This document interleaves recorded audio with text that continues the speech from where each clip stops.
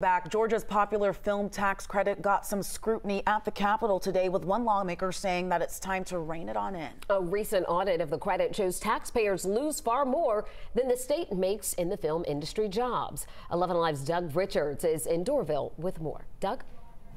Yeah, boosters of the film tax credit would take a look at this giant studio recently constructed in Doraville and say this is a great reason for Georgia to retain its film tax credit. But detractors also look at it and the generosity from the state treasury for the tax credit and say maybe we need to take another look. Does any of that loss factor in? Republican State Representative Jason Ridley says there's very little film work done in his North Georgia hometown of Chatsworth. Other lawmakers have supported the Georgia film industry and its uncapped state tax credit for productions made at some of Georgia's gleaming new studios. But a new audit shows that for every taxpayer dollar spent on the film industry this year, the state will only get 19 cents back from the investment. Is it making money or losing money? It returns less to the state in tax dollars than than it cost the state. Ridley was among those raising questions for auditors at a state house hearing.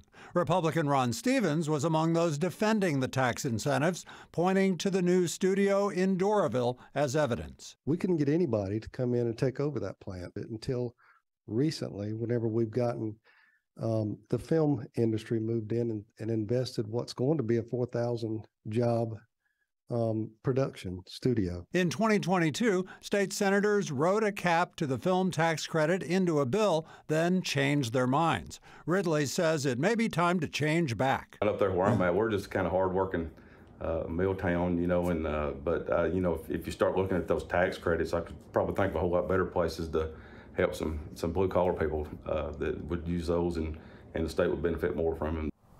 But the film tax credit remains politically popular among members of both political parties. And while they've talked about uh, eliminating it or capping it, um, that's never really gotten any real traction at the Capitol. And in this election year, uh, it's not likely to happen again either uh, in 2024. Uh, we are live in Doraville tonight. Back to you.